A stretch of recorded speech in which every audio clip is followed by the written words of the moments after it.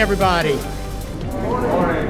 Thank you and welcome to the first MS Views and News event in Columbus in 2021. First for anybody, right? Isn't that great? Don't you all feel good about this? Getting out? Hey, we have a virtual audience too, and I want to thank them all for being here online. I am going to take off my mask because I am a good distance away. In this state, we heard lost their mask mandate, and it's like nobody wears masks anymore. They all went back to normal really quick. Anyway, um, you know, we wanted to let everybody know that MS Views and News, first off, we are the sole supporter of our program that we're doing here today. And we're doing that because, well, you know, a lot of people in the industry are just not ready for these events to happen. But we know about the mental wellness aspect. People do need to get out, they do need to be able to see people again. And we're doing this very comfortably. So if our virtual audience were able to see what you can't, but these tables are about 10, 15, 20 feet apart from each other. There's only four people per table, and we are going to be doing this going forward at least once a month, sometimes twice a month, and we're going to start getting around to rural areas of the country again. All right, so next month, for those that might be online right now, we have a program happening in Jackson, Mississippi at the end of July. At the beginning of August, we'll be in Roanoke, Virginia. The middle of August, Greenville, South Carolina. And the beat goes on. In September, we'll be in Atlanta, Georgia, and in Detroit, Michigan. All right, or just north of Detroit in a more rural area. But uh, yeah, the point is that people need to be educated. They need to be able to get out again. They need to hear what they need to know about multiple sclerosis because a lot of people just forget. So we want to remind them of what it is that they need to know about. And we have excellent speakers like Dr. Boster who will be going around. In fact, Dr. Boster is going to join us in Roanoke, Virginia to do the event over there. So I don't want to take up a lot of your time, all right?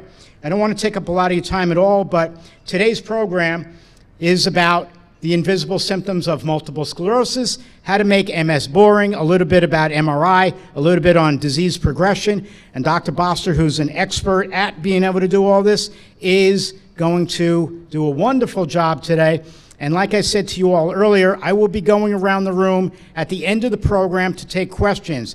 And for all of you online, a lot of you, when you registered for this program, you wrote in your questions, and we do have that, and I will be asking those questions. But if you are online and you have questions, there's a box on the screen at the top of the page, there's a like a reddish orange box. All you do is click on that, you type in your question, and we, we, when we get to the Q&A, we will be asking those questions as well. Please do not feel that you are blocked by being virtual, all right? You, answer, we'll ask your questions as much as we'll ask everything in here. And for everybody in the audience, if you have a question, please raise your hand. Get me to acknowledge that I see you, that you have a question. I'll come over and get your question from you. Okay?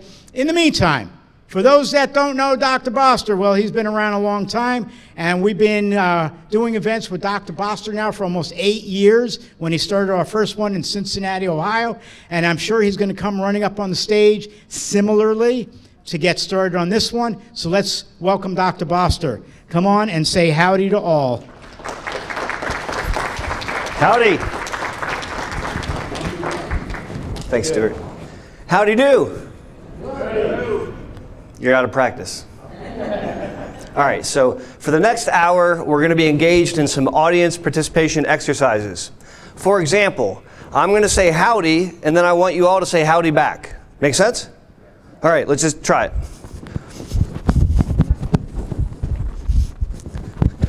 Howdy! Howdy! There you go. That makes me feel so much better. How is everyone today? Good. Everyone turn around, look at the camera, wave to the people on the interwebs. Hello, people on the interwebs. I am so excited that MS and News has come back up to sunny Columbus, Ohio. And I just want to highlight what they're doing because it's a really big deal. They share my passion for educating, empowering, and energizing families impacted by MS. And during this global viral pandemic, an organization that traditionally goes out into communities wasn't able to go out into communities. What do they do? They did everything virtually. And I think that's a really big deal. Now, this is the very, very first hybrid live program they're doing this year. And so let's say thank you to MS Views and News of choosing Columbus, Ohio for that event. Stuart asked me to talk about something which has been on my mind a lot recently, and that's the concept of the invisible nature of multiple sclerosis. I haven't really done very many lectures on the invisible nature of multiple sclerosis. So this morning, I took the pizza box that I devoured last night, and on the back of it, I wrote a lecture. So I figured I'd bring this with me, and this will be my notes. now, when we talk about the invisible nature of MS, that means a whole bunch of things. Be careful, this is now an audience participation moment. Each table can elect one person you can voluntold to share with me when I say invisible aspect of MS, what do you think of? Make sense? So why don't we start over here? Who is going to share with me one aspect of MS which seems invisible? Shout something out. Don't worry, the entire interweb is looking at you. Depression. Depression is very, very common in the setting of multiple sclerosis. In fact, people impacted by MS are twice as likely to experience depression compared to the general population. What does someone look like when they're depressed? They look like they're not depressed, right? They, they don't look any different. Honey, you look fine. Well, you look fantastic. And it's an excellent example of a symptom which is invisible. And we'll come back to symptoms that are invisible. Thank you for that. How about over here? Cognition. Cognition. Cog fog. The leading cause of loss of work in MS is not because you can't walk. No. The leading cause of loss of work in MS is from cognitive fatigue and from difficulty with thinking and memory. But to look at you from the outside, honey, you look so good. Since you're having trouble processing. That's a really big deal, and it's an invisible deal. How about back here? Numbness. Numbness. So when I wake up and I've slept like this, and my hand is numb, I've trained myself to try to use that hand when I brush my teeth, or do something with, or even use my phone. Because it's a fleeting opportunity to have slight insight into what someone might experience to have their hand be numb all the time. And it's really, really frustrating and I can't fathom what it might be like to be like that all the time. And honey, you look fine. You don't look numb. Well, you don't look uninformed. so, how about back here? Something that's invisible. Fatigue. So, cog fog and fatigue sit locked together at the very top of symptoms amongst MS.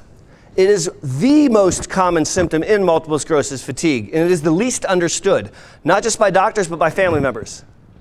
You ever done the experiment where you go to your spouse and say, Hi, I'm tired?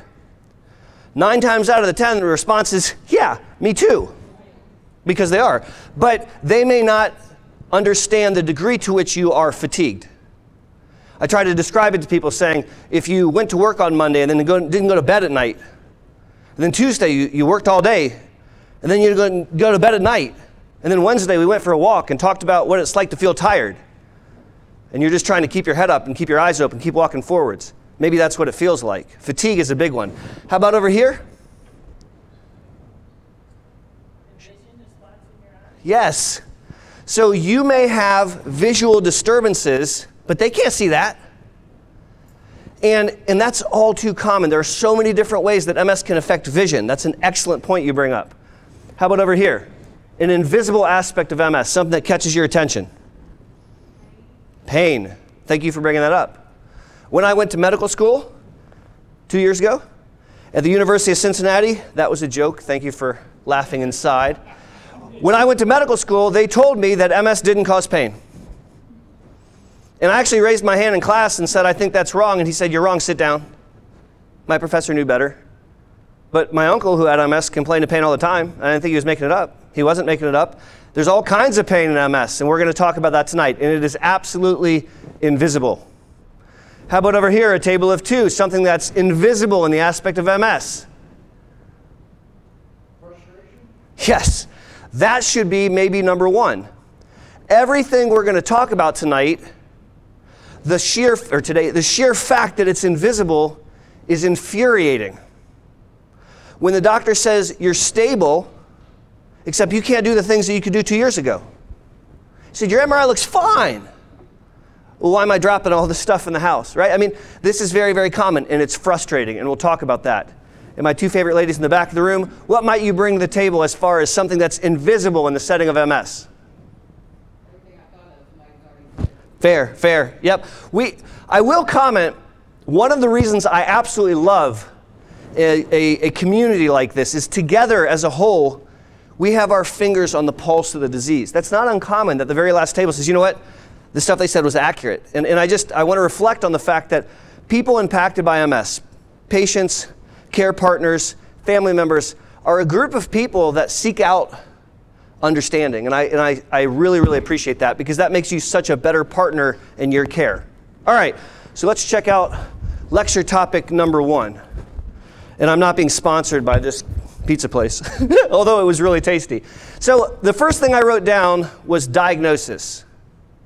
The diagnosis of MS is sometimes a bit invisible. So a human being is out living their best life and they have a bug in their eye, except they rub it and they still there, so they ignore it. And the next day they can barely see and it starts to hurt when they move their eye. And so they don't know they have optic neuritis, they just know something's weird about their eye. And so then they go see their optometrist who says, Rrr. and then that optometrist sends them to an ophthalmologist who says, hmm, I think we need to get an MRI. And then they get the MRI results, they say, I think you need to see a neurologist. Then you see the neurologist says, hi, you have MS. Pick which drug you want to start. Pause. We just got an invisible diagnosis. Can we back up a little bit? I'll share with you as I meet new families with MS and we talk about their disease, I always start by going through how I confirm their diagnosis. Continually, my heart is broken when someone says these words Doctor, no one has ever shown me my MRI. I've never seen my MRI. Nobody ever explained it to me. That's not fair. It's your $3,000 of insurance money, it's your brain. Well, they gave me a disc, but I don't know how to read it. So, so let's talk a little bit about how to make the invisible nature of the MS diagnosis visible. Sound like a plan? I'm so glad you agree, because otherwise I'd have to come up with a different topic. so there are five elements to making an MS diagnosis. The first element is your story. Although in medicine we have to use different words because it sounds cooler if we say the history of present illness, right? So your story, like the stuff that happens to you, it's the stuff you tell me about. And when it boils down to brass tacks, what am I listening for? I'm listening for the discrete onset of something bad that happened to you that lasted for a little while and then maybe got a bit better. I'm trying to listen for an attack. Or, and, I'm also listening for a slow, steady decline in neurological function that's not explained by something else. The entire time we're talking, as I'm going through the first consultative visit, that's what I'm listening for. And as you tell me about an event, I'm trying to, to see if that event sounds like what I've heard for the last decade and a half when people have an attack with MS. And, and I'm asking clarifying questions. When did it start? How long did it last? When did it peak? How bad did it get? What else was going on? Did you have a fever? I'm trying to clarify the elements of the story which are consistent with an MS attack or progression of neurological disability. That's number one. Now, if I talk to 20 new families in a busy week, I will hear 20 different stories, 20 different experiences. It's all MS. That's confusing. That's frustrating. When you have a heart attack, it's pretty much the same thing. It's very, very scary. It's very, very bad. It can kill you, but it's not very complicated.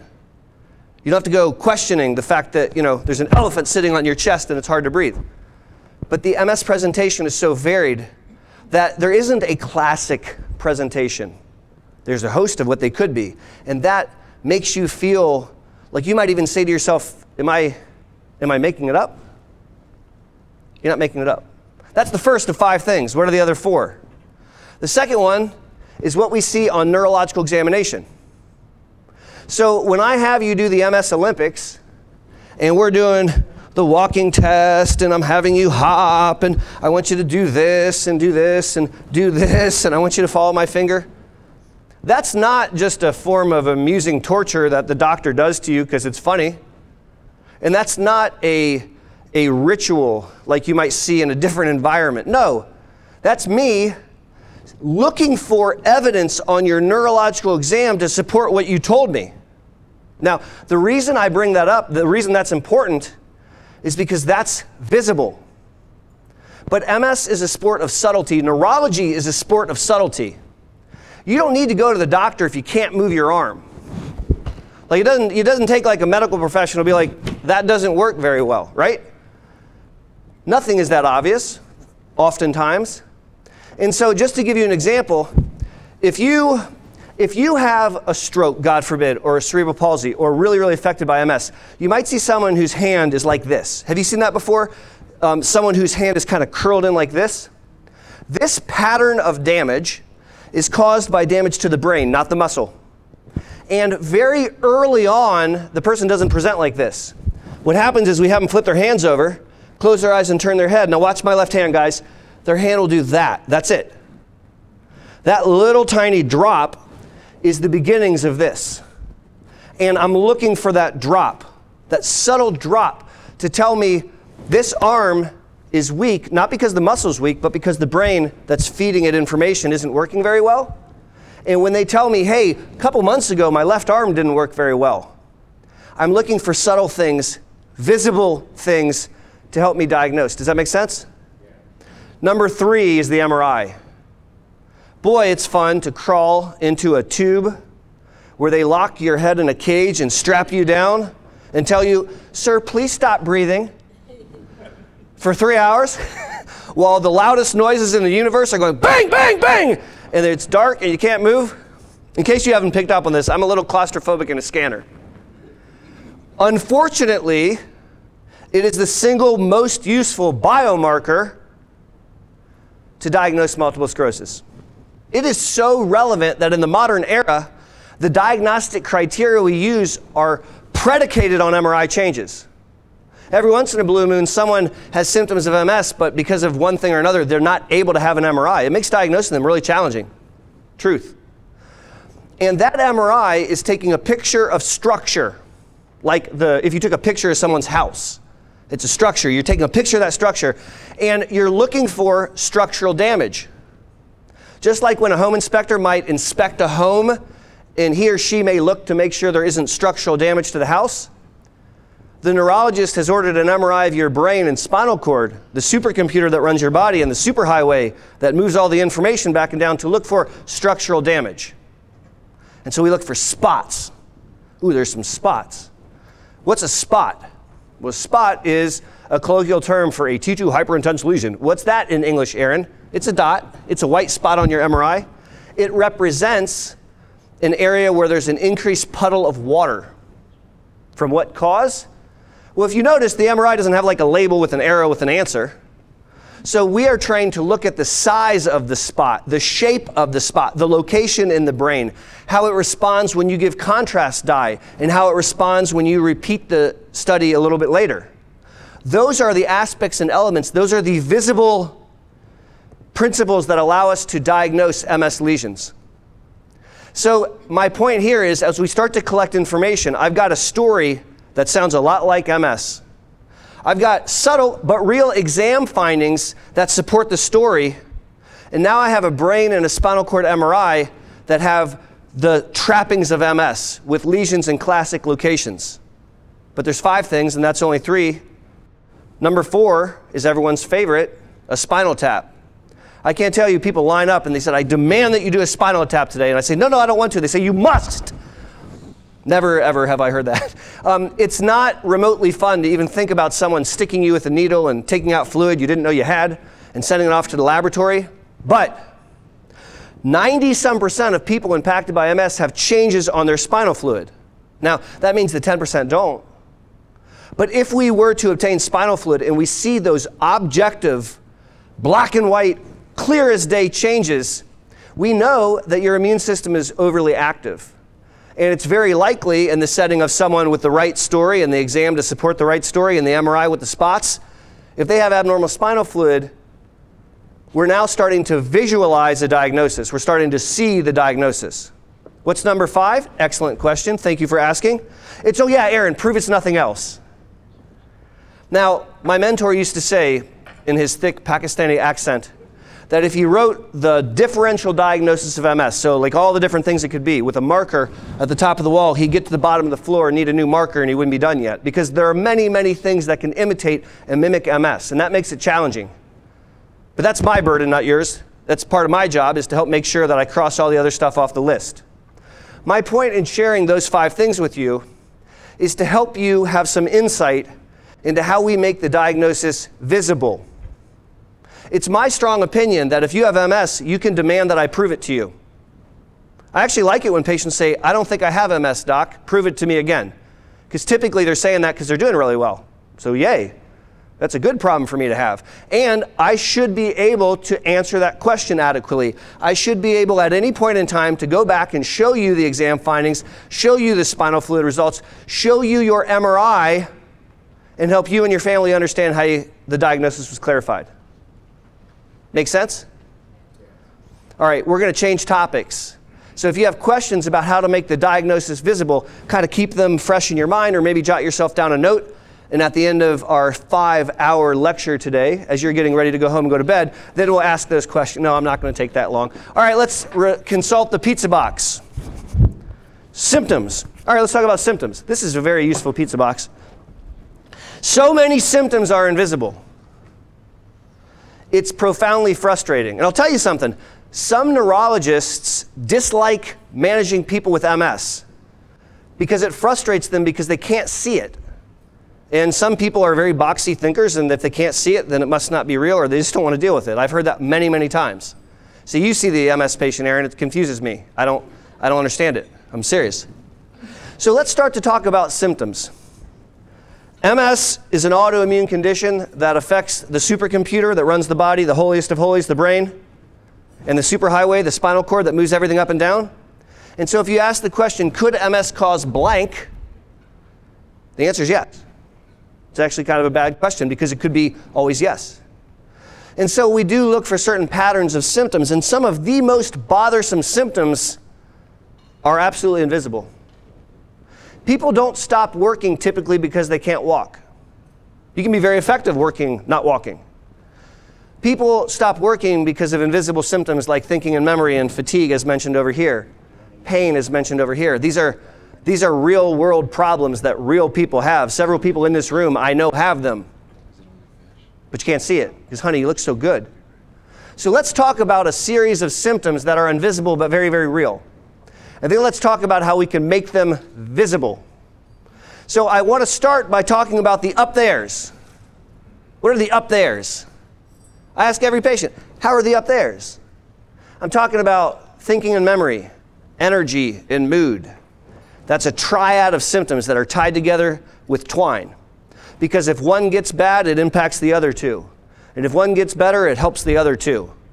Those symptoms are extremely common in multiple sclerosis, and they're invisible to the outside observer. They're also invisible to the unattentive doctor. What do I mean by that? Hey, how are you? Are things going okay? You look fantastic. Oh, wonderful. Anything going on? Do you need refills? It was lovely seeing you, honey. What did I forget to do? I forgot to ask any questions. I forgot to shut up. I forgot to let her open up her mouth and say words. I forgot to listen. And unfortunately, that cocktail party speech happens way too often in medicine. I know folks that see MS patients every 15 minutes. Breaks my heart. It takes me 15 minutes to get your jacket off, bring you a cup of coffee, sit down, look at pictures of your kids before we can start talking about anything. And so let's think about these up there's. Let's think about thinking and memory, energy and mood. How do we make those invisible symptoms visible?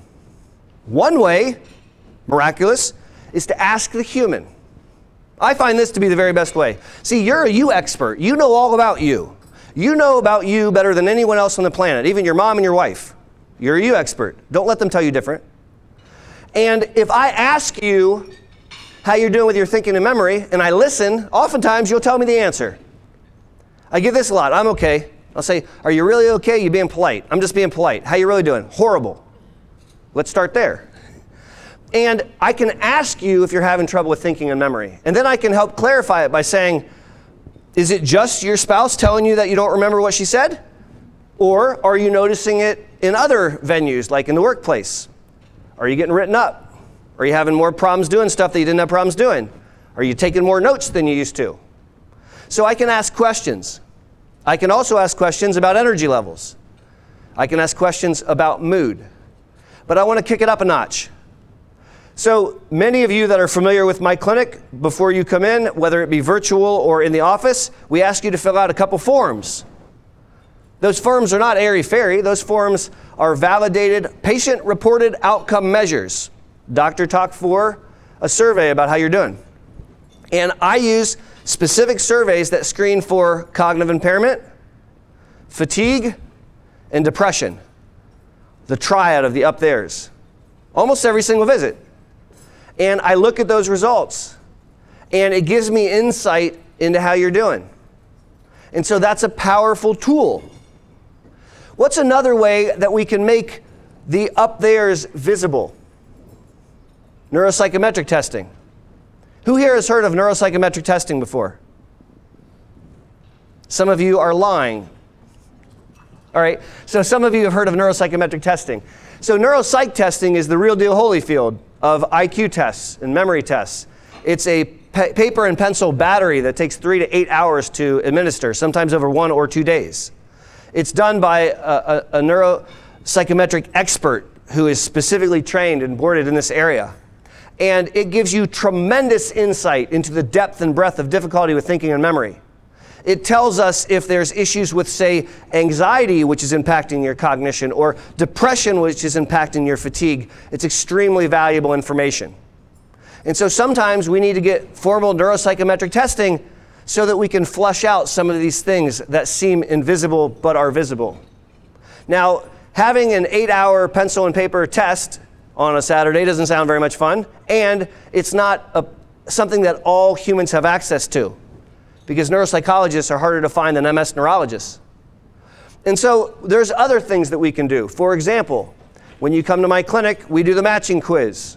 You love the matching quiz, right? I get out a stopwatch, I give you 90 seconds to fill in all the bubbles, go! And you're filling out the matching quiz. And we're looking at the number that you attempt to do and the number that you get right, and we can follow that over time. A score below 40 is concerning, and a four point drop from one clinic visit to another is statistically and clinically relevant. That's a 90 second matching quiz that teaches me whether or not there's a screening concern on the table for cognition. Why am I bringing this up? Because the up there's are invisible, and I'm trying to share with you ways that I try to make them become visible. Well, if we're going to talk about the up there's, we got to talk about the down there's. What are the down there's? You know the down there's bowel, bladder, and sexual function. And so, bowel, bladder, and sexual function are very commonly affected in MS and they are the leading cause of poor quality of life in MS. Adults do not like to wet their pants in public. Adults do not like to be incontinent of stool. And most adults do not enjoy difficulties in the bedroom. And yet, this is very, very common, and it's stigmatizing, and for some, it's embarrassing. And when you're at the doctor's office and he's spending four minutes with you, you might not want to bring it up but it's a really big deal. And so it's invisible to the outside observer. Sometimes it's invisible to your spouse. Do you know I have patients that confide in me that they're unable to achieve orgasm and they've hid it from their spouse because they don't want to hurt his feelings? That makes me sad because we can fix that. Some people refuse to go out because they're concerned they'll lose their bladder. And so they don't go to church anymore. They don't go out of their house to go to their friend's house or to go out to dinner or lunch because they're concerned they'll wet themselves. And my point here is make me aware of that problem so that I can intervene and help you because we can help. There are all kinds of things we can do. It's all predicated on you tell me that there's a problem. So every time you come in, we ask screening questions about bowel, bladder, and sexual function. Why do I talk so much about sex? Because I live in the real world. And it's an a- excellent aspect of life. And when it's impaired, it ruins the quality of our life. And in polite culture, we don't talk about that. But my office is not polite culture. not if you're sitting with me. we, um, we recently interviewed, I shouldn't tell you this, so it's fun to tell you. We recently interviewed someone to work at the Boster Center for MS, And my business manager, who's a wonderful, wonderful man and very, very proper, said, Now there's one aspect of the team that I need you to be familiar with. Um, you have to be comfortable with flowery words sometimes coming out of Dr. Boster's mouth. Um, and so if you hear those flowery words that start with letters like F and S, um, we just need to make sure you're okay with that. so, so, God bless him. And I think the lady said that she was, but I just thought that was really funny. Um, we talked about the up there's, we talked about the down there's, but I want to talk about pain. Remember my professor said MS doesn't cause pain? He was really, really wrong. Because there are probably eight to 10 different kinds of pain that are unique to multiple sclerosis. And nobody else can see them. Trigeminal neuralgia, facial pain, is some of the most severe pain that a human being can experience. It sometimes culminates in suicide. It hurts so bad. Very, very serious. Did you know that this year there was a paper that came out that suggested that people with MS are 14 times more likely to experience trigeminal neuralgia? Not twice as likely, 14 times as likely to experience trigeminal neuralgia compared to the general population. But nobody can see it. It feels like someone is stabbing you in the face, but nobody can see it. And so sometimes people will say, Am I making this up? No, you're not making it up. It's very, very real. It's just not available to the outside observer.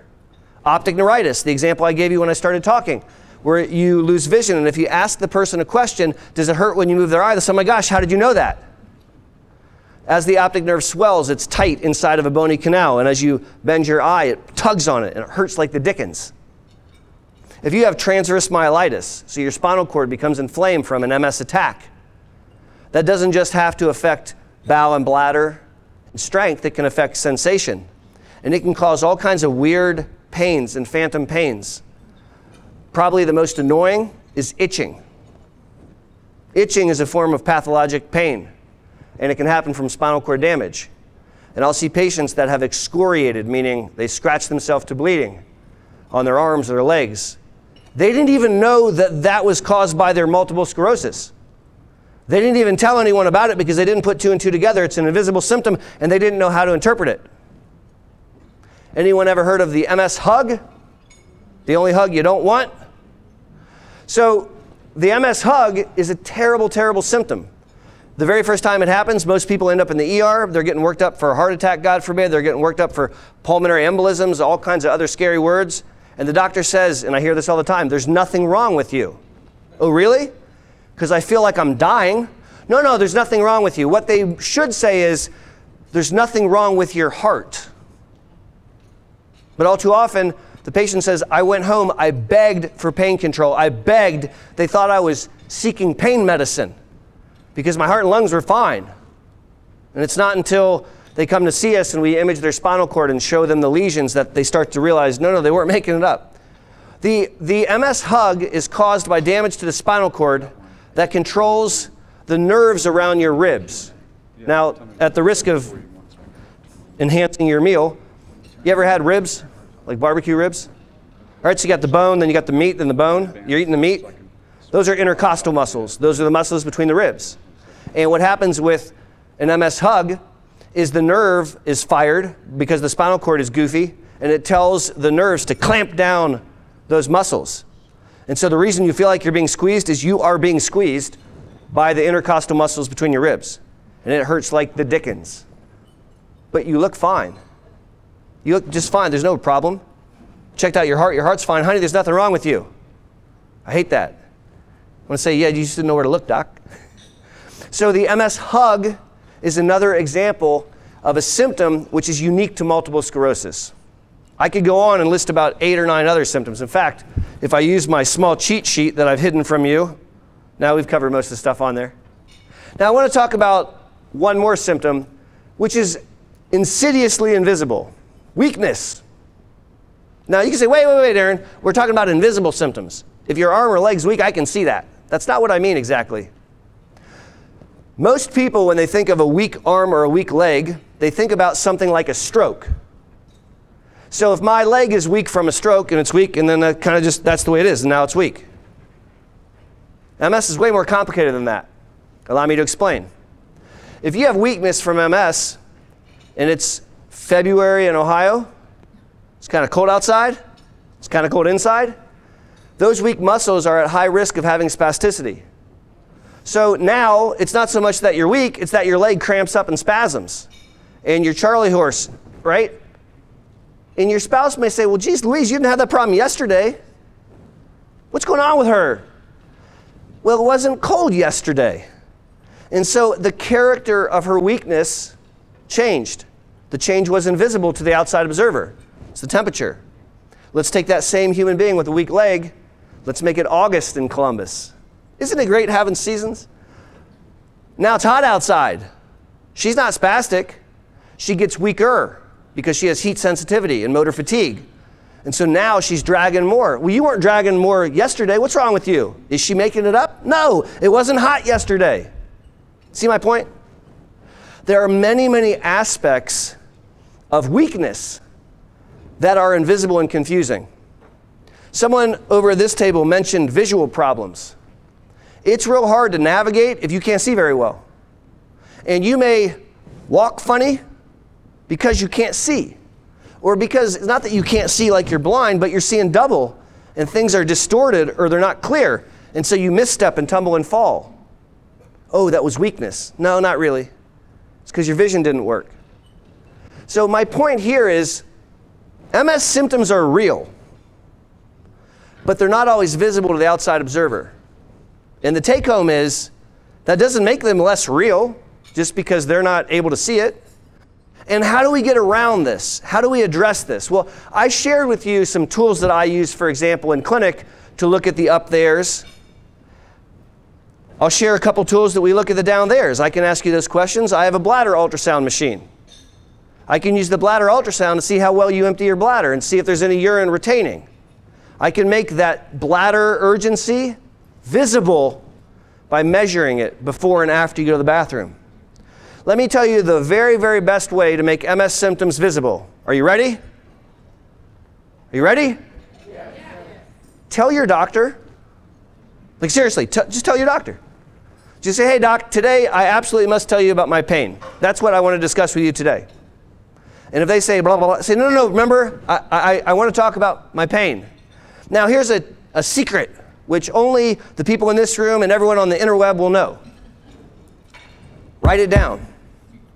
There's a magic trick. If you bring a piece of paper to the doctor's office and you walk in and say, Doctor, I have notes. Hey, I have five questions. She is ethically obligated to let you read it. Seriously, try it. Actually, MS Views and News, if you go on their website, they can download the form they've created exactly for this purpose. Or you can go old school and just rip out a piece of paper and write down your questions. Bring it to the doctor and say, before I leave today, I want to go through these five things. And then when the doctor says, okay, honey, I'll see you, I said, no, no, we're not done with number four. I, I need to ask you one more question, remember? Is that something that you would be comfortable doing? Good. If you're not comfortable, that's okay, but I want you to I want you to push yourself a little bit. Every person with MS needs an advocate. Every single person. And the best advocate to cultivate is yourself because you're a you expert. And so I really, really want you to be comfortable coming in with a list of questions or a list of concerns. Write them down, say, I need to talk to you about this. The other advantage is that way you're less likely to forget. Make sense? Let's consult the pizza box. Prognosis and treatment effect. This is arguably one of the most confusing and frustrating, to use the gentleman's words, aspect of multiple sclerosis. Prognosis is the attempt at guessing the future. And we neurologists are not good at it. We're not good at prognosticating. Sometimes people think we are. Like I have a wizard's hat and a crystal ball, and I kill a chicken, and I look into it, and I can tell you what's going to happen. That's not true. but there are certain attempts at prognostication. There are certain aspects of your clinical presentation, your demographic presentation, your early MRIs that predispose one human to be more likely to have a bad outcome compared to another. So it's not completely invisible, the future. I will give you example of two human beings, both with early MS. And I'll share with you that one of them is prognostically less likely to have aggressive disease, where the other one is more likely to have aggressive disease, okay? So over here we have a 23 year old Caucasian woman with no comorbid conditions. She is an athlete. She eats clean, doesn't smoke cigarettes, doesn't really drink very much. Poor gal. And she has an optic neuritis, and it gets better without steroids. This gets better on its own. We get an MRI. Her spinal cord is clean. She has no lesions on her spinal cord. The base of her brain, clean. There's no spots at the base of her brain. She has three spots up in her head. One enhances. She's diagnosed with MS by the skin of her teeth. That woman's prognosis is actually very favorable. Now, that's not a guarantee, but, it, but it's actually very favorable. Over here, let me present a Hispanic gentleman who's 42 years of age. He presents with both weakness and bowel incontinence. Same time. His leg's weak and he has difficulty in the bathroom. And when you get an MRI, he has lesions on his spinal cord. He has lesions at the base of his brain. He also has early diabetes and high blood pressure. And he used to smoke cigarettes. He stopped only recently. That gentleman is a scary, scary scenario for an MS neurologist because he has many, many prognostic factors that predispose that he's going to go on to have more aggressive disease. My point here is not to contradict myself and say that's my crystal ball, but my point is to share when I meet you, there are certain aspects that predispose me to be more or less concerned about how well you're going to do in the future. And so there is some information. Very often, when I meet a family in consultation, someone who has been around other docs or what have you, and I talk about their prognostic factors, there's an emotional response. Something to the effect of, why am I hearing this for the first time today? Why did the other doctors not tell me that? Are you sure, Dr. Boster? I saw so and so who's very fancy, and they didn't say that. And I try really hard not to guess what other doctors think or do because sometimes it confuses the hey hey out of me. But I know the data and I know what's relevant as I try to help you live your best life despite having MS. And I also don't pull punches and I don't lie. And so I'm just going to be very blunt and say, here are the things that make me concerned. And it does make me sad when someone says, I've never heard that before. But you need to hear that. And just like I want you to bring a list to your doctor's office and say, hey, these are things I want to talk about, just like you may demand at any time to have your diagnosis confirmed, it's also fair to say, prognostically, what do I have going on, doc? Now, there are tools that we can use, and I want to break them down a little bit. One of the most useful tools in 2021 is the MRI. Because the change across time on the MRI is a very strong indicator of what's going to happen down the line. If you, for example, are taking one of those first line therapies that we used to give people a shot. And in the first two years, you have one new spot, you are predetermined to fail that shot down the road. We didn't used to know that. When I was in training, one spot a year was acceptable because our drugs weren't very good. But what we have learned is if you have a new spot in the first two years when you're taking those shots, you are predisposed to not do well clinically down the line. That's very, very disconcerting. Another very helpful tool on the MRI is to measure your brain volume. The other thing that I want to talk about after we get through the MRI is about the confusing invisible nature of the MS medicines. But just a couple more words about, about the MRI and about brain volume. When we get an MRI, many of you know to ask about the white spots. Are there any spots? Typically, you mean the white spots. But that's not the only piece of information that we can learn. And one of the most valuable pieces of information is the size of your brain. Because after the age of 18, and most everyone here is, I have a terrible truth to tell you. Your brain is pre programmed to get smaller every year. Just like we get shorter as we age. When I was 20, I was six foot even. And I've gotten smaller as I've aged. Or just as our skin gets thinner as we age, our brains shrink as we age. That's supposed to happen. And it's supposed to be 0.2% a year or less. In MS, that can be accelerated 10 times faster. And brain volume loss is one of the best predictors of long term disability. and of cognitive impairment. And if I meet you and you already have the trappings of brain shrinkage, that is a bad prognostic factor. And as we get an MRI from point A to point B to point C, we can compare the rate at which your brain is shrinking. And that is a massive indicator to me about how we're doing. That's taking the concept of prognosis and trying to make it somewhat visible. I want to shift gears and move away from the concept of prognosis, and I want to talk about therapeutic response. This is arguably one of the most frustrating areas for MS patients the darn drugs. Now, I, I want to start off by separating drugs into three categories. One category of drugs are what we take when we have an MS attack steroids, IVIG, stuff like that. That's not what I'm talking about. All right, so I'm not talking about those medicines. There are a host of medicines that we take to help symptoms. I have a pill for almost every ill. We can treat the up theirs. We can treat the down theirs. We can treat the spasticity and the heat sensitivity. We can treat the pain. Those are all symptomatic treatments. That's not what I'm talking about. I'm talking about the disease modifying therapies. I'm talking about the medicine that's supposed to slow your disease down. And this is very confusing. And to the human taking the medicine, it can feel like their medicine is invisible. It's not really doing anything. And that's because of a concept that I want you to learn called therapeutic lag. Therapeutic lag is a critical concept to understand MS and to understand MS therapeutics. If you have a headache and you take an aspirin, you have an expectation that your headache gets better in about 15 minutes, right? I have a headache, I take an aspirin, 20 minutes later I'm better, good. And if 20 minutes, 15 minutes go by my headache's still there, that medicine didn't work. I need another aspirin or a Tylenol or whatever, right?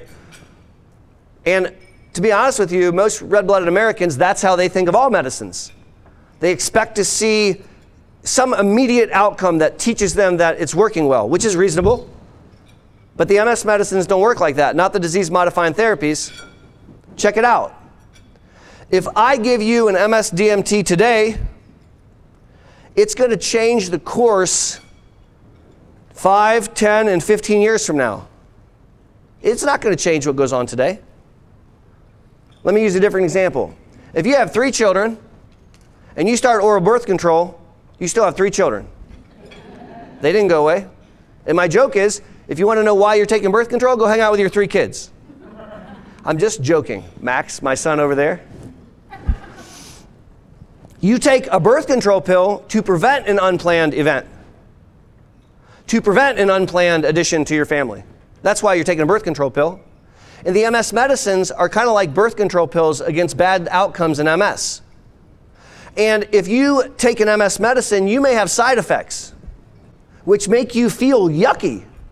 And very often I, I hear someone say, Doc, I don't want to take your medicine. I'm feeling better off the medicine than on the medicine which may be the case, but that's not why I'm giving it to you. I'm not giving it to you to make you feel better now. Bluntly, I'm giving it to you to keep you walking in 20 years. That's a really, really important concept because if you don't understand that concept, you may think the MS medicine is not working. Now, how do we know that it's working? How do we know that? Well, there's one way I figured out. If I could simply clone you. So if I could clone you and I'd have to get written permission from your spouse and all this other kind of business, there might be lawyers involved. But now we have two of you. There's two of you. Good luck to your husband. All right, and we're going to give one of you a hug and one of you an MS disease modifying therapy and a hug. All right? And then we're going to go live life and come back in five years. And then I could show you that the you that got the MS therapy and a hug did way better than you that just had a hug which is nonsense because not once has a spouse let me do that. And I don't know how. so, what do we do instead? We run clinical trials. So, at the Boster Center for MS, we're running five clinical trials right now. I'm, I'm very proud to help bring clinical trials to Columbus, Ohio. And why do we do these clinical trials? So we can identify if medicines work. And we test them in groups of people with MS. And we find out because we divide, and half of them take medicine A and half of them take medicine B. And then we see who did better.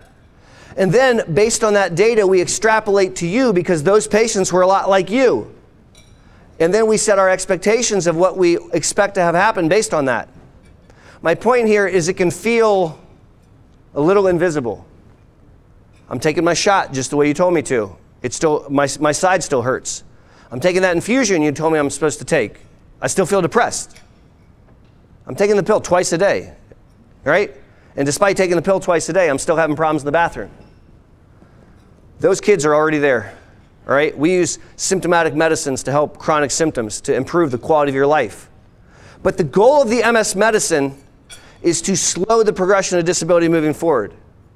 Do you know that there's actually a horrible travesty? There's a plague that only impacts MS neurologists around the world? This is true. I'm serious. It's a plague of misunderstanding called ageism, where some MS neurologists inappropriately stop medicine because you've reached a certain age. And that's crazy talk. And I think they fail to appreciate the invisible nature of the disease and the concept of therapeutic lag. And there's a patient who is very near and dear to my heart, and I have not seen her in a couple years. The last time I saw her, she was dandy as candy, taking a medicine through the vein once a month, rhymes with natalizumab. And she's doing very well last time I saw her. And she called me, crying, and said, I need to see you. And so I brought her in with her husband. And she had a cane she didn't have a couple years ago. And she was unsteady with her walking. She wasn't a couple years ago, I remember. I said, Tell me what's going on. What's going on with your natalizumab? She said, I aged out. I said, Excuse me? She said, I aged out. The doctor told me that at my age, I'm not supposed to be on medicine anymore. And he stopped my medicine three years ago. And I said, What's happened? She goes, I've gotten a lot worse. He failed to appreciate the invisible nature of MS and the therapeutic lag. And guess what? She's back on now. Natalizumab. My name is Aaron Boster, and I am so honored that you gave up your time to come and learn about MS with me. And today, I wanted to try to talk on the back of a pizza box about something that you can't see, but it doesn't make it not real. And that's the reality of multiple sclerosis. And if there's one take home message, it's you are a you expert. Don't let me tell you it's fine, you're okay. I'm not inside your body. So I have to listen to you when you say, nah. Thank you for your attention. Thank you, Dr. Boster. This is the raffle. No, I'm just joking. By the way, it was damn good pizza last night. Yeah, too. it was tasty pizza. All right. So what we've got is we've got a lot of questions that came in virtually. All right. We're also still getting questions. We saw the screen lit up. We have Jill who's going to be taking care of all the virtual questions virtually. All right. And um, so if anybody that's watching right now, you have questions, please know that Jill will be answering them from afar. All right. And um, if you have any other questions, just please type them in there and we'll get to them. Plus, we have the ones on paper. Plus, I'm going to go around. You guys are not going to see me. You're only going to see Dr. Boster. I'm going to go around the room. If anybody has any questions, please put up your hands and let me acknowledge that I see you, and then I'll get over by you as well. Okay? Thank you.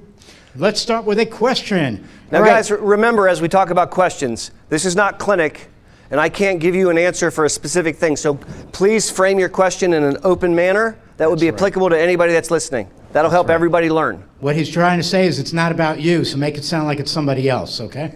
For my friend, yeah, no. Okay. All right. So, first one. Person is writing, oh, and by the way, some of these questions might be something that the doctor already spoke about, but maybe the person didn't hear it. So, um, we'll just have them answer it again. And this way you'll be learning it twice. Okay. How come lesions improve at times, but I'm still symptomatic all the time? That's an awesome question. So you are not a lesion. You are not an MRI. You are a human, right? The lesion is a picture of structure. Let me give you a quick example. All right, let's do an analogy. Now, I don't own any firearms, but let's pretend I did. Let's pretend I owned a double barrel 12 gauge shotgun. Boom! And I blow a hole in that wall right next to that sign. Now there's a giant hole in the wall right there. And I go to prison, and everybody thinks it's really weird that Boster lost it on a Saturday, and they decide not to patch the hole. In fact, they put a frame around it and say, this is where Dr. B lost it, right? And they just leave it there. And every time there's an event in here, people can look upon the hole. Now let's fast forward time. 20 years go by, I finally get out of prison. This building is starting to age. The materials in the building are starting to wear out. Let me ask you a question. Which wall falls first? Point. It's the wall with the structural damage. That's not a new lesion, that's been there 20 years. When you have an MS attack and it causes a spot, you pay the devil's price. You pay twice. You pay at the time it happens, and then your brain rewires and you regain some of that function back. You're back in the game, you're better. But as your brain ages, that spot wears out. And the underpinnings of progression come from that area, we believe, in the absence of a new spot. I'll teach you a, not secret. The goal is to not let the spots occur in the beginning so that there's nothing that wears out. Thank Great you. question. So, question from the audience Is it true you can look back 10 years before diagnosis and see symptoms at that time? Five years. So, so do you guys familiar with the term prodrome? A pro, prodrome means the events that happen before a diagnosis. So there are prodromal illnesses, like where, where you, for example, you might um, get the flu, and for a couple days you feel punky. You don't have a fever, you just don't feel very well. And then a couple days later you get a fever, you have the flu. So the feeling punky, that was the prodrome of the flu. There is a prodrome in multiple sclerosis. When we look at claims data, so when we look at giant populations of people and we look at their utilization of healthcare in the three to five years leading up to an MS diagnosis, it skyrockets. They're going to the ER, they're going to the OB-GYN, they're going to the psychiatrist, they're going to the belly doctor. Their medicine utilization is skyrocketing, and what we see is it culminates in then the first symptoms of MS. I have racked my brain with a puzzle I can't solve because if I could figure that out ahead of time, I might be able to initiate treatment before you have the disease. The problem is I can only figure it out looking backwards. But yes, three to five years leading up to an MS diagnosis, meaning leading up to the first MS symptom. I'm not talking about the first MS symptom, I'm talking about stuff before that. And we're not smart enough yet to figure that out. Actually, wait, maybe there is a way to figure that out. And I didn't just think of this. There is a lab test called neurofilament light chain, right? And neurofilament light chain used to only be obtained through spinal fluid. And so if I could just draw a spinal fluid every three months, haha. But now, neurofilament light chain can be drawn through blood. It's not commercially available. I can't do this in clinic yet. We can do it in research. And your neurofilament light chain level correlates with your disease. And so it goes up months before you have an attack. When you go on a medicine, it goes down. If you go on a better medicine, it goes down lower. And as you progress in neurological disability, it slowly increases. And it's not prime time yet, but I imagine a world where children of people with MS are screened with neurofilament light chain. And if we see that it's rising, maybe we can intervene beforehand. That might be a way to do it. Great. Thank you. Virtually, we're going to ask Jill to ask the next virtual question. Hi, Dr. Boster. Um, Hi. I have a question here that is from Michael. And Michael wants to know can the MS hug be on one side only? Absolutely, absolutely.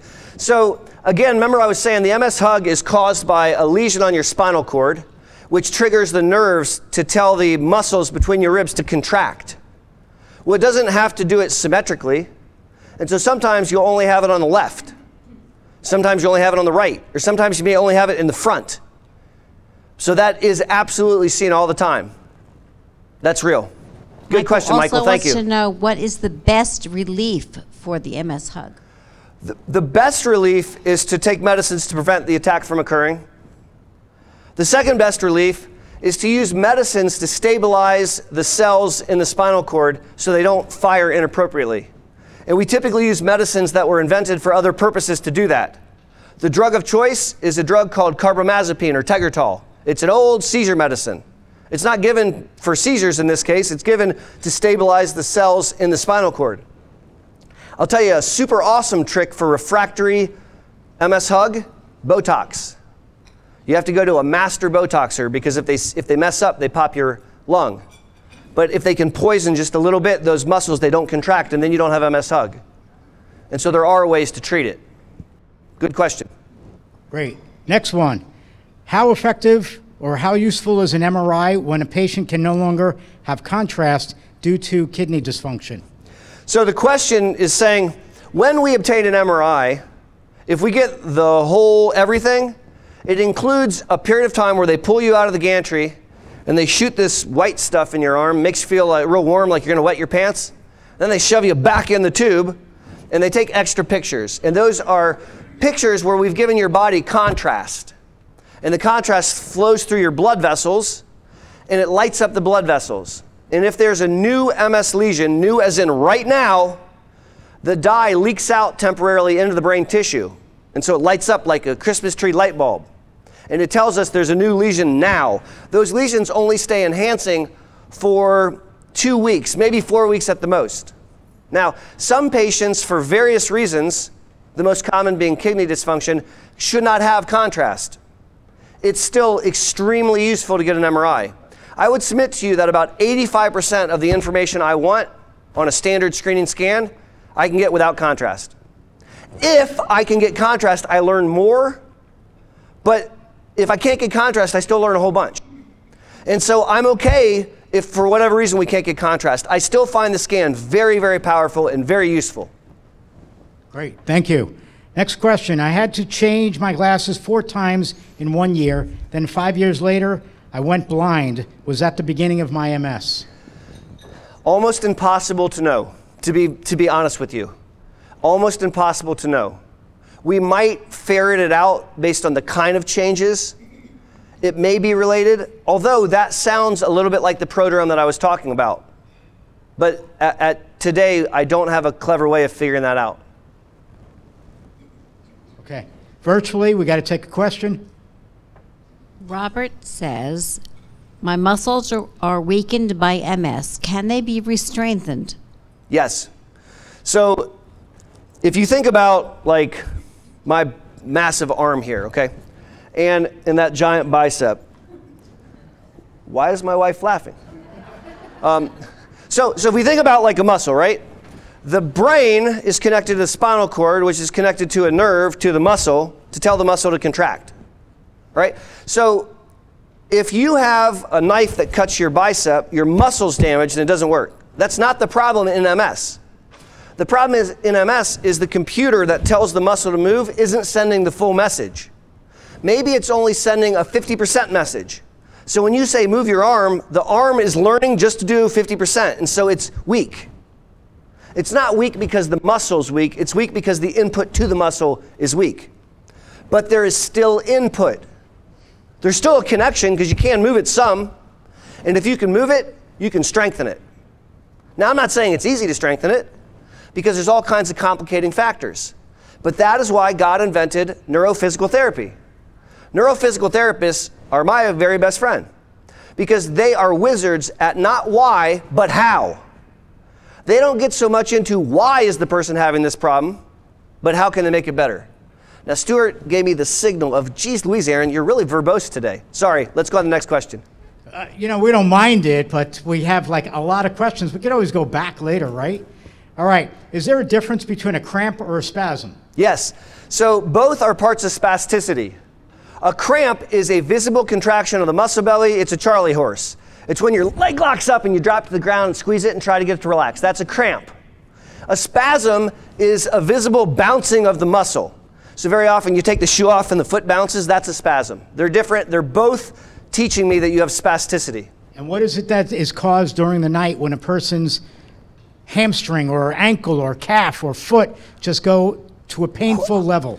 So, spasticity, cramps, spasms, and limbs that are hard to bend, spasticity are always made worse under two conditions when it's cold and when you're still. So, why do I hear most complaints at night? Because at night we're not moving.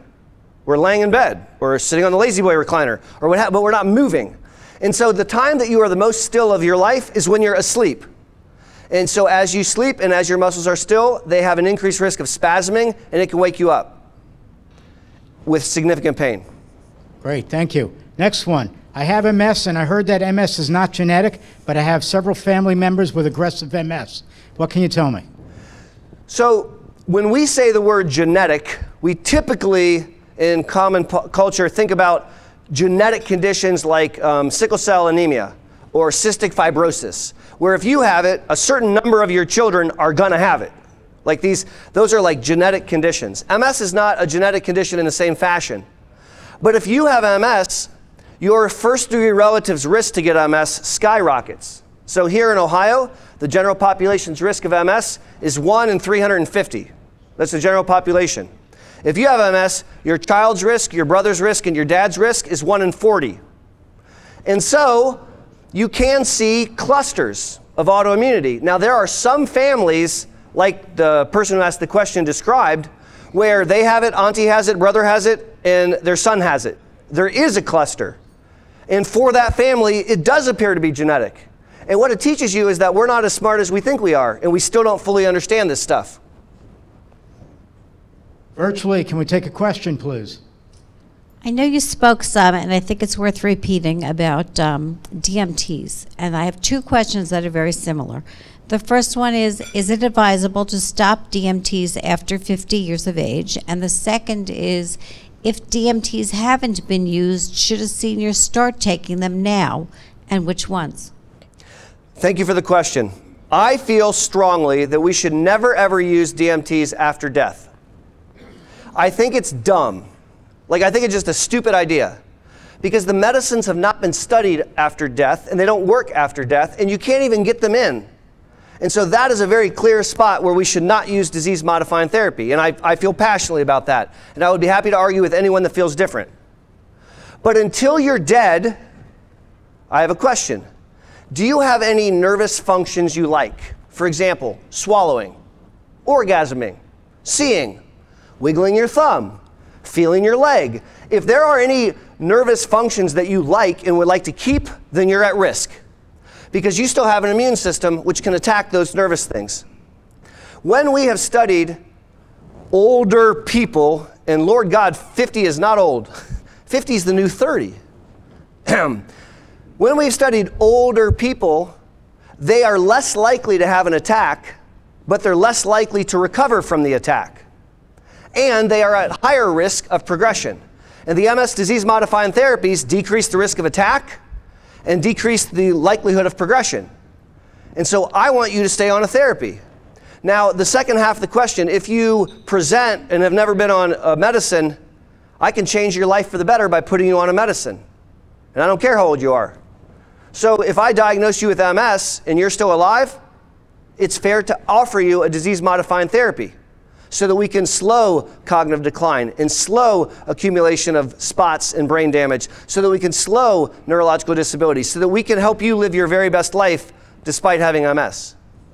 Thank you. Question from the audience Why can the world or the United States solve or create a medication for COVID so quickly, but research or progress for MS seems to be moving so slow? Because killing a virus is not hard because MS is really complicated. What we did to develop COVID 19 vaccines was revolutionary. It was revolutionary. The people that developed the mRNA vaccines will win Nobel Peace Prize, and every school should be named after them because they've saved hundreds of millions of lives. But it's not a hard problem. It's one virus, and we can study it. We understand the unique coronavirus. We know all 26 proteins, we know how it replicates, we know how it enters, we know what the spike does, we know what the nucleocapsid does, and we figured out a way to beat it. It's a very simple way to beat it, and it works. MS is really complicated. It's way, way, way, way, way more complicated than that, and there's so much about MS that we don't know yet. So, the conspiracy theory that doctors in cahoots with governments, in cahoots with pharma companies know the answer and they're hiding it is false. That's simply not true. We're still trying to figure out MS. Let me, let me make a point.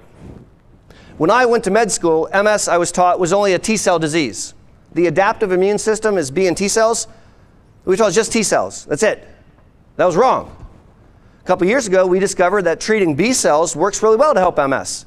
So now we said, okay, well, MS involves the B cells and the T cells. Well, now guess what? we're starting to study the other half of the immune system that we've never studied before called the innate immune system. Many of the clinical trials that I'm running right now have medicines that impact the innate immune system, microglia, things that we've never been able to impact. And we don't know what's going to happen. That's why we're doing clinical trials. So the answer to the question is because MS is way more complicated. We're not there yet. I want to reassure you that my friends and colleagues around the world are aggressively trying to answer that question. I have close personal friends of mine, their life's work is geared towards trying to answer that question. It's ongoing. There's a lot of people trying really hard right now. Great. Thank you for that response. We'll go virtually again. My mobility has gotten much worse since starting Ocrevus. I was previously on Copaxone for 14 years. I have read that a number of people have had increased mobility issues after starting Ocrevus. Is there a possible correlation? So I can't answer specifically for you, but I want to point out something that you said. You are 15 to 17 years into your disease. MS, even treated, progresses over time in some people. Is it possible that it has nothing to do with the fact that you switch medicines? Is it possible that the disease has progressed? It's an unanswered question. Is it possible that for you, Ocrevus or some other medicine is not the right drug? Yeah, that is possible.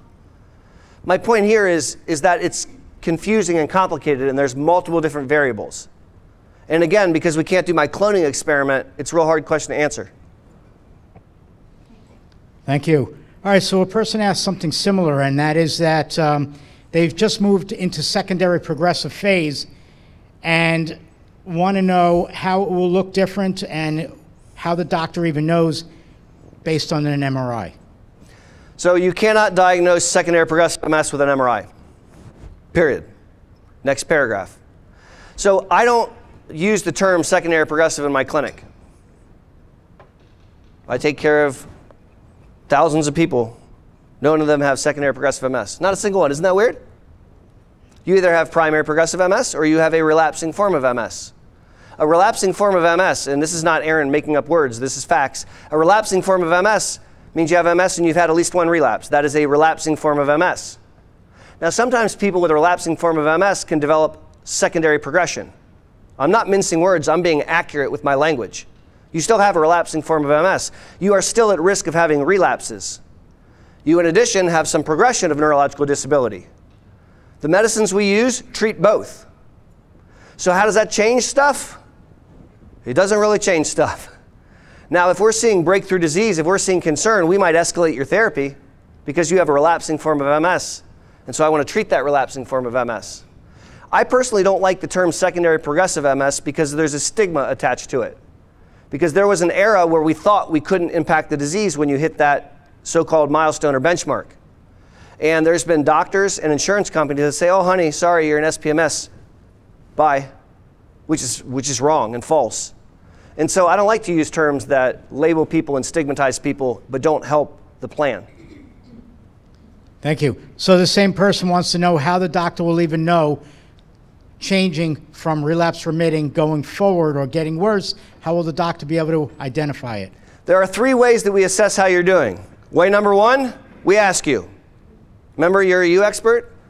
So we can just ask you, like, how you're doing. Anything that you can't do last year that, or something that you could do last year that you can't do this year? What's going on? What's new?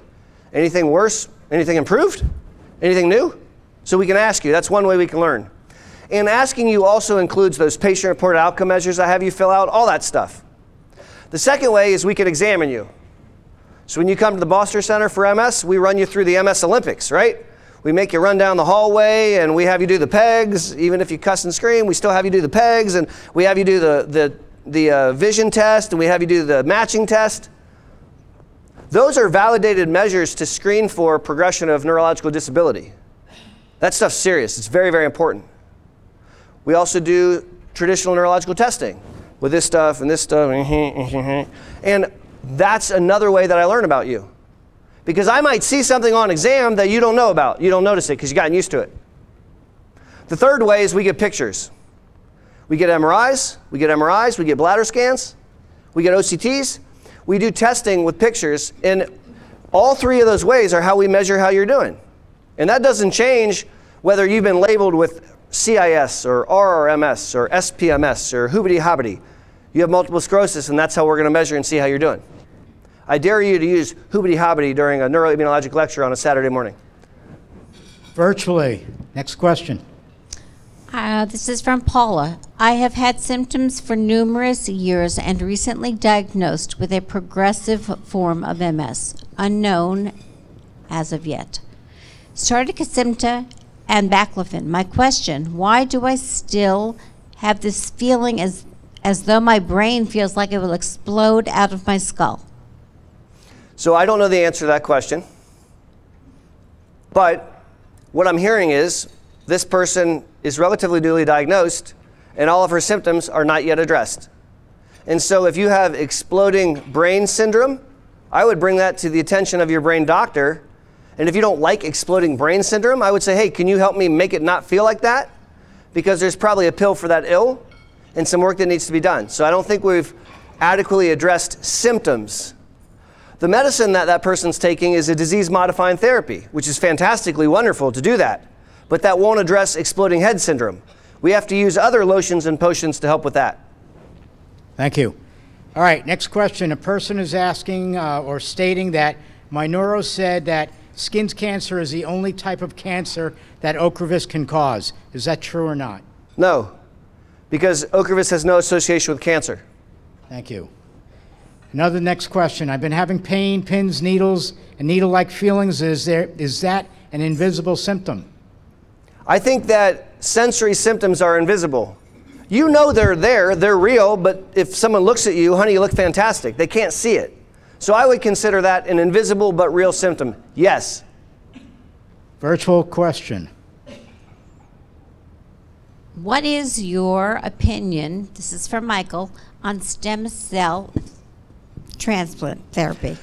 So Michael wants to know about hematopoietic stem cell transplantation. So stem cell transplantation is not a treatment, it's a procedure. It's not a medicine, it's a, it's a procedure where we harvest your stem cells and then we murder you.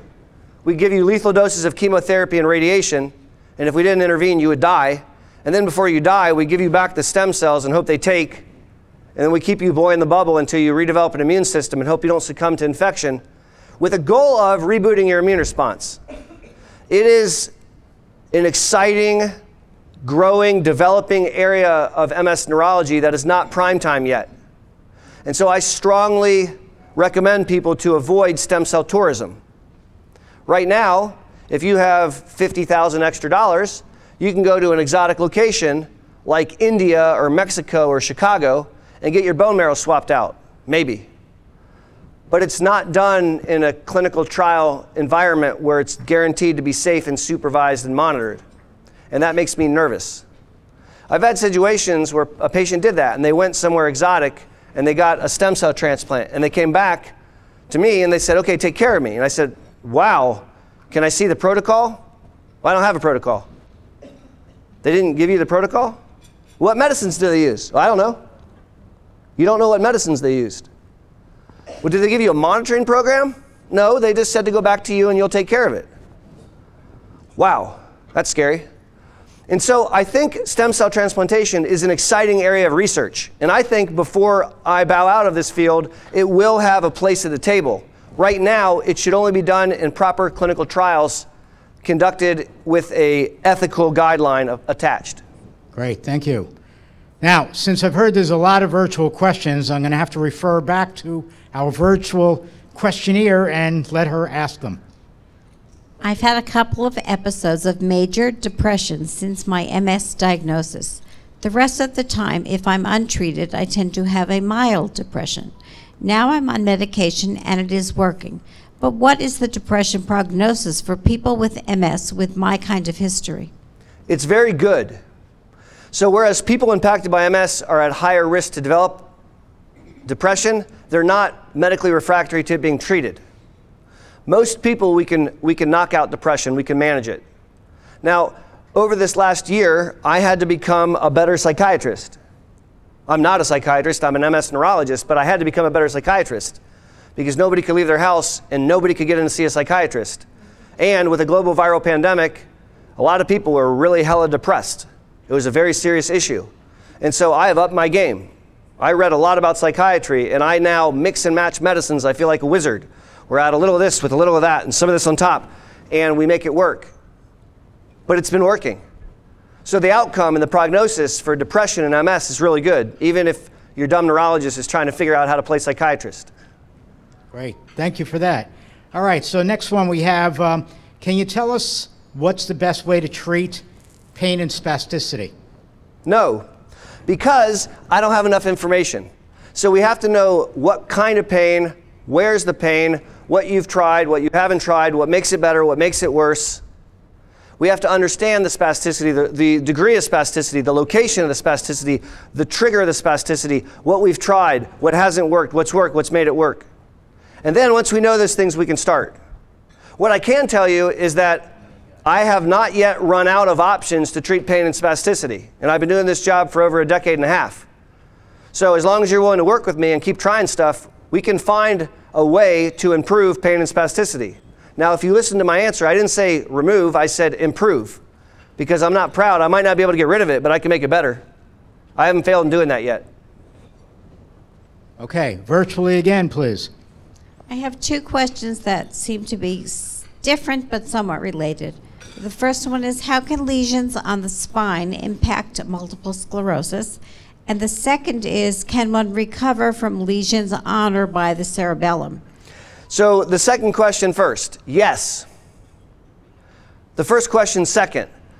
The spinal cord takes all the information from the supercomputer down this very narrow channel, which is thinner than my two fingers. The spinal cord is not very wide, it's like a wire. And if it gets damaged, all of the information from the brain going down to the foot risks being muddled. All the information from the foot going back up to the brain risks getting muddled. And so things might not work right. You can have a transverse myelitis, a damage to the spinal cord, and not be able to feel from that level down, lose bowel and bladder function, and lose leg function, strength, and sensation, because all of that stuff is perfectly normal in the brain. And when the brain says, kick him, the message says, kick him. And it goes down the spinal cord and says, kick him until it gets to that lesion. And then it says, nothing. And so nothing happens. So spinal cord lesions are more likely to cause neurological symptoms than brain lesions. Great, thank you. All right, question from the audience. Person wants to know, with this being such a great program and being discussed by a great speaker, how does this kind of information get to other neurologists around the country who are not known for this kind of information? Remember how I said I try to really hard not to guess what other doctors think because it confuses me? That's still true. In my, in my mind, there's a couple ways that you can help influence a clinician. One is you can invite him to come out and talk to other clinicians. So something that MS neurologists do, sometimes we participate in advisory boards, like think tanks, where we get together and we talk amongst each other. And that's a great way to share information and up people's games. There's continued medical education, where we can go back to the well and learn stuff and up our game. Patients teach us things. You guys teach me things all day. A week doesn't go by that somebody doesn't bring me a research paper and I learn some stuff. Happens all the time. Hey, what about this drug? Never heard of that drug. I think I learned about it. But I want to remind you that a doctor is like a plumber or an electrician or anyone else. And there's plenty of us. And if you don't jive with your doc, that's not your fault or his fault. That's just you just don't jive. And so it's fair for you to go seek out a second opinion. That's fair, right? It's your body, it's your brain, it's your one life that you get to live. You're the you expert. And if you feel like your needs aren't being met, you're allowed to say, hey, that's not working out for me. I want you to know more. Patients often inform and educate doctors, which I think is brilliant. So that works out great for those that are in urban America, but what about those that are in rural America? The interwebs. That's right. So the interwebs are really cool. I love the interwebs. So it dawned on me a long time ago that when I wrote my highfalutin fancy pants neuroimmunologic papers that none of you read them. Right? I would write all these papers that had letters and numbers and stuff and it was all really cool and took me months to write. And 18 other doctors thought it was awesome. And five of them said, Aaron, good job. which was not something I cared about because I was trying to help up your game. It also dawned on me at the same time that every single family in my clinic, without exception, has Facebook. Every single family has Facebook. Nowadays, you have Facebook and Instagram and the Twitters and the YouTubes and the tickety ticketies and all these other things. But y'all have it on your phone. And so I started to make videos when patients didn't show up to clinic. I literally would take my phone and just talk into it and I would say, Watch Ray Charles, and I would just send it off without editing it. And it was the most cringy video I've ever made in my life when I look back at it. But I was throwing it out on the interwebs. Now, I have a YouTube channel now for six years, and there's 32,000 subscribers, and I make a video every Monday. And those videos are made for you. They're intended to up your game, to energize, to empower, to educate. And that's just free out on the interwebs because you might not want to hear what I have to say during a clinic visit. You may need to hear it at 3 o'clock in the morning. One more comment. I'm not the only person educating on the interwebs. Guys, look back at that camera. There's a bunch of people in their homes right now learning, and I think that's awesome, and I love you. Mwah, thank you. And MS Views and News is an excellent example of a repository of the latest and greatest cutting edge information in MS, housed in their websites and their Facebook pages and on their YouTube channels. So, another way to up your game is to learn on the interwebs. Thank you. I won't deny that either. All right, so here's another one. Let's go even a step further. Rural America. When I say rural America, I'm talking about remote rural America. There is no internet signal near a lot of the United States. I mean, realistically, is more areas of the United States where there is no internet signal than there is internet signal. And there are a lot of people with multiple sclerosis living in those areas and seeing maybe a general doctor as their neurologist. How can we get better information to these people? So, I mean, Stuart, one thing that you guys at MS Views and News have been doing is by bringing programs to rural America. So that's pretty awesome. Let's give them a round of applause for doing that. Sometimes it's fair to travel. Sometimes it's worth it to travel a couple hours to see a specialist. Doesn't have to be MS. And so we have people that fly in to see us from all kinds of different locations. They come in, they spend the night, they see us, they get their MRIs, they get their treatments, then they go home. And so I joke with people, let's have MS twice a year. The rest of the year, you do you. Give me two days. Come to Columbus let me help you. And so I, I think that's fair. You're worth it.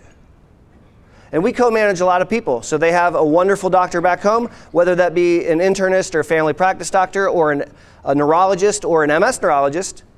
But they co manage and they come visit us and we help take care of them and we collaborate. And that works very well. That's an option. Great. Thank you. Virtual. I think you discussed this uh, briefly earlier, but Maria is asking for you to please talk uh, more about pruritus, Yeah. itching. Yep. So pruritus is a doctor word for itching, right? And oftentimes people don't associate itching with MS, but it is a symptom of it's a it's a pain syndrome. And there are centers in your brain and spinal cord which, if affected, can cause a pathologic itching. There's no rash, but it feels like there is. And it's typically a very refractory itching. It's very, very hard to manage. And it, it's amazing to me that people will discuss they've had pathologic itching for years and they never told anyone because they didn't realize it was related to their MS. They also didn't realize that you can treat it with neuropathic pain medicines. So the pain medicines that we use off label, like gabapentin or pregabalin or uh, topiramate or duloxetine or any of these medicines that help with pain can help with itching. We can also use lotions and creams, pain creams that we rub on the area to numb the skin. So there's things that we can do, but it starts off with knowing that MS can cause pain and that sometimes the pain manifests as pathologic itching. That's real. Thank you. Question from the audience. My equilibrium is off. I fell recently. I just blacked out. I was just walking. And where is this disconnect? So, walking is a very, very complex function, actually. Like a bunch, a bunch of things have to happen for us to walk successfully. And if any of them are goofy, we might go to ground. That's a very complex and appropriate question, and it's going to take some careful attention. That's someone that I need to see in my office and we need to go on a walk. I literally need to watch you walk. I need to watch you balance. I need to watch what happens on one leg. I need to watch what happens when you stand up. We're going to have to do some stuff to figure it out. If I listed all the different problems with walking, you would be trying to get home to go to bed tonight, and I wouldn't. I'd say, wait, wait, I'm not done because there's a host of things, and that's where, as a team member, we need to partner, and we need to work on that to figure out what the problems with an S are because it's probably not one thing; it's probably several things and we can start to pick them apart. For example, maybe you have lightheadedness from a cardiovascular problem that has nothing to do with MS. Or maybe you have an inner ear problem from MS that's making you feel like you're spinning. Or maybe your foot goes into a cramp and you stumbled and smacked your head. There's a host of things that can happen. And so that's why we went to neurology school so we can work with you to help piece them apart and try to figure that piece out. Once we can figure out what the problems are, we can start to treat it. Great, thank you for that. Now, we have about 10 questions remaining, all right? Virtually, in-house, and previously received, right? Short So answers, Aaron. Got yeah, it. we're Go. going to ask you just go with the short answers, right? But I have a funny feeling that this next one, and this is probably a continuation of the program you did the other night uh, when we did that virtual uh, one on sexual problems for MS, for men with MS. But this one writes I'm a guy who is having sexual problems due to not being able to feel my package. What do you suggest? So there's lots of different ways that we can have difficulty with sex, and one of them is lack of feeling. So right now, I'm not using much more than my standard indoor voice. Right? There's not a lot of extra commotion in the room. If all of you answered cell phone calls at the same time and I was still trying to be heard, I would start yelling. I would need to raise my voice because there's so much interference between your ear and my mouth that I would need more input to help you hear it. And the same thing can happen with the down there's. Because when the down there's are stimulated, there's damage to the spinal cord. So as the message goes up, it dies along the way, and your brain never learns what's going on down there. And so we can do the equivalent of yelling. We can provide overdrive stimulation. Tip number one water based lubricant. Why? It increases skin sensitivity. Tip number two plug in the wall, Hitachi Magic Wand, vibrator. Head of the penis, shaft of the penis, behind the testicles, vulva, tush, I don't care where you put it. Hold it there and it'll provide overdrive stimulation. And that can be adequate that you can feel your junk because it forces the message up to your brain. Your brain says, Oh, oh, it's Friday. Great. Okay, Karen asks, why do people randomly get foot drop after having a MS? Got it while on Ocrevus, makes walking even more challenging. So, when you have damage to the brain and spinal cord, it can occur anywhere. But if you think about the thing that's the farthest away from your brain, it's your foot. And damage to anywhere along the motor pathway could result in a foot problem. So, you're more likely to have a foot problem with MS than a hand problem because the hand can only be affected from the brain down to the spinal cord here. But the brain and spinal cord can also affect the foot, so can the rest of the spinal cord. My point is, there's more opportunities to develop foot drop than almost anything else. And so, over time, as you have individual hits to your nervous system, it can culminate in weakness, and that weakness is more likely to be lower extremity than upper extremity, just because of anatomy. Virtual again, please. Regarding hand tremors, which feel like arthritic, while the tremor horribly, while they tremor horribly with shooting pain throughout the muscles and joints, could there be an exercise to reduce that? Yes, What would it be? depends. I don't have enough information. We'd start by having to see what you could and couldn't do. We'd have to see what your limitations are. I might even get an occupational therapist to come in and help me to really ferret out how to make it better. Not enough information, but the take home is yeah, we can treat that. Okay, next for me. Um, please provide information on new drugs for primary progressive MS. What's to come? There's a lot to come. One of the clinical trials we're running right now is studying a molecule called BTK inhibitor. It affects microglia in the brain. We've never been able to do that in the history of MS, and we're testing it in primary progressive MS. There are three patients that have enrolled in the entire world. One is in Bulgaria, two are at the Boster Center for MS. They are patients with PPMS right here in Columbus, Ohio. Now, when that drug is proven to work in PPMS, it will be because people with MS in this city volunteered their body to help figure it out. And how about we commend them? That's a big deal. That's a really big deal.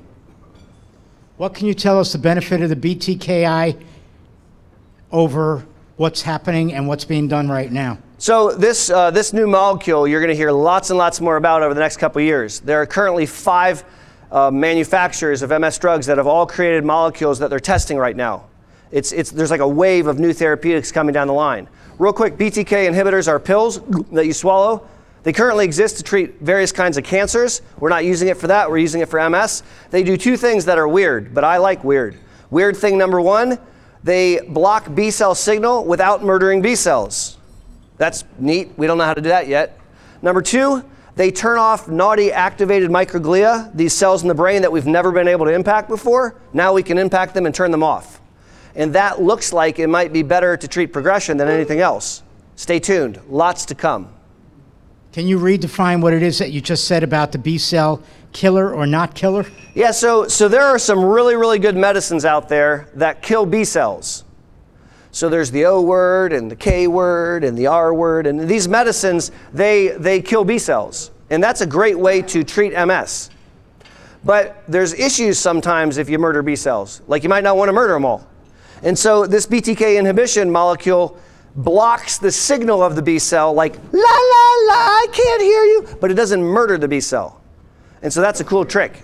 And these drugs, these BTK inhibitors, do not look like they increase the risk for infection whereas some of the molecules that kill B cells might.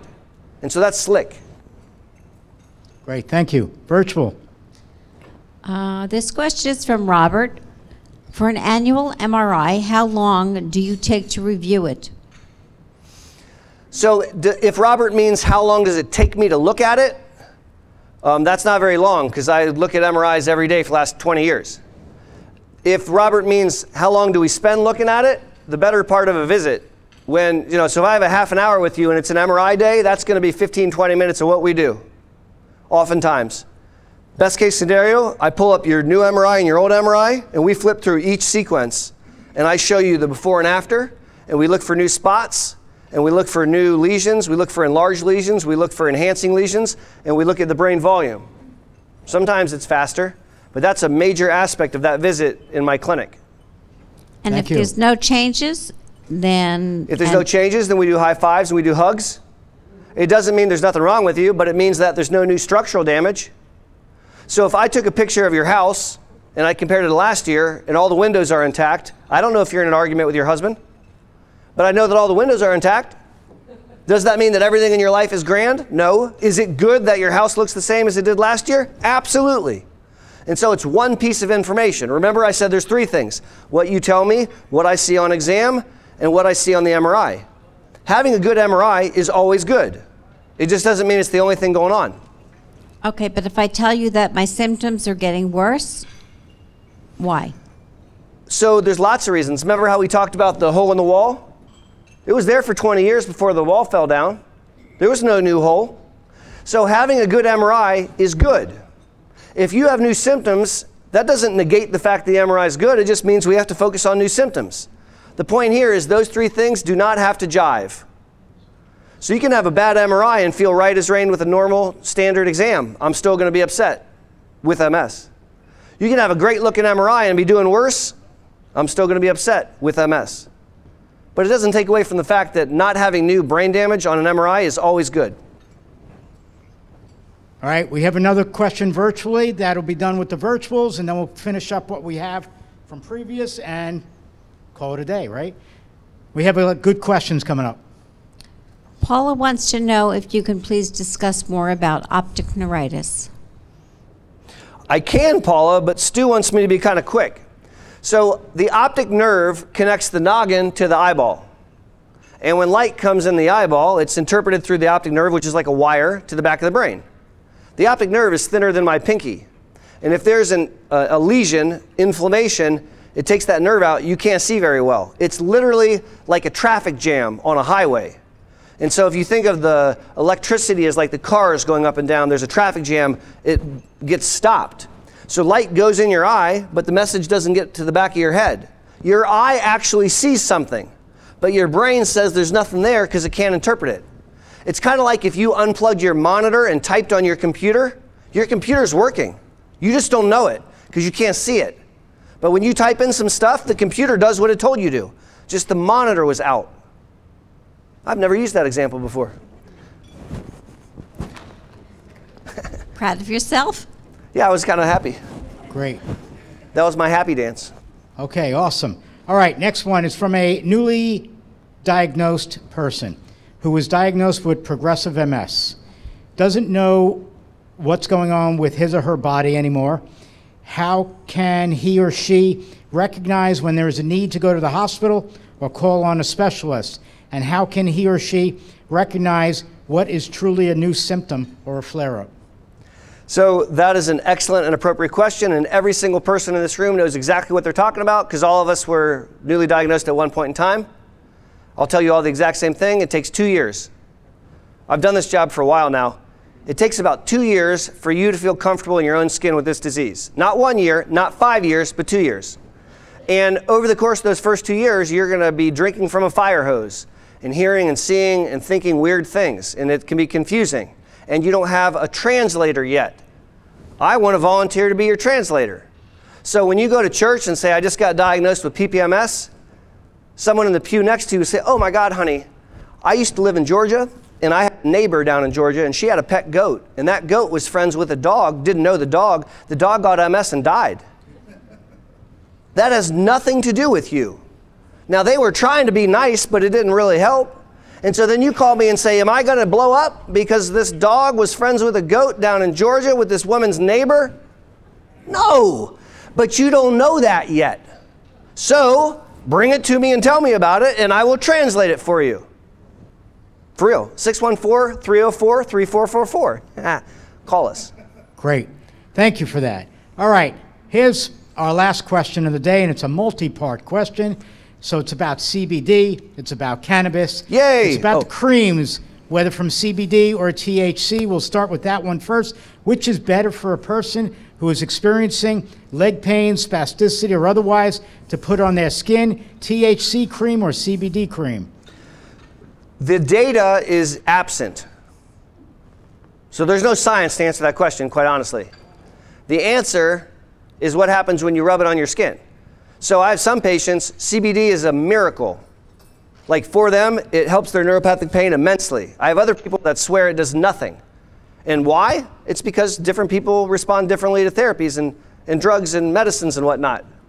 I have some people that find that their symptoms are not adequately managed by CBD alone and they need THC in some ratio. Other people find that not to be the case. The science is not there, which is frustrating for a nerd like me. But instead, I have to listen to what patients experience and I have to help them work through it. And we have to try to find what works. Medical marijuana, which is FDA approved nowhere, but is legalized here in Ohio in a medical format, has helped a lot of my patients actually. I was a naysayer, but then I started to listen. And I'll, tell you honestly what happened. A bunch of seven year old ladies who don't know each other started to all tell me the same darn thing. Dr. Boster, my grandson gave me this doobie, and if I smoke it, I don't need your Lyrica. And I thought, are all these 70 year old ladies like getting together in a circle and saying, let's all tell Aaron the same thing? I don't think so. I think they discovered something. And so I started to listen to them. And I have found that medical marijuana in the right context helps people with MS with irritability, with insomnia, with spasticity and pain. And it comes in all kinds of different flavors and shapes and sizes. And it's not for everyone, but it's a, it's a tool that we can now sometimes use here in Ohio. It's pretty neat. Okay. The second and third part for this is discussing the whether it be smoking from a joint or a pipe or doing vape or doing gummies. What's the best time of day for a person that's in pain most of the day to be using it because he or she does not want to overuse and still has to work? So that's a very, very complex question. First of all, in Ohio, medical marijuana card does not protect you against your employer. And the ADA will not protect you. So if you seek out a medical marijuana card from a licensed recommender, it's legal in the state of Ohio, and you go legally into a dispensary and purchase something that helps your pain, and you're drug tested and they have a policy against it, they can fire you and no one will help you. That's true. And so I want you to know that. That's a big deal. As a sidebar, if you have a medical marijuana card, it negates a concealed carry. Because a concealed carry is a federal law that says you cannot use a controlled substance. And so I just want people to know that because sometimes people have a concealed carry they don't want to give up. Welcome to Ohio. What we use really depends on the goals of what we're trying to accomplish and how you respond. Now, I'll share with you that I am not a big proponent of asking people with MS to take a carbon based plant matter and light it on fire and then suck in the smoke because it's pro inflammatory to the lungs. A vape is when you heat it up below the level of combustion and you suck in the vapor, not the smoke. And I think it's still pro inflammatory, but way less so than smoking. An edible, which is like a THC gummy or something, those have no inflammatory effects to the lungs.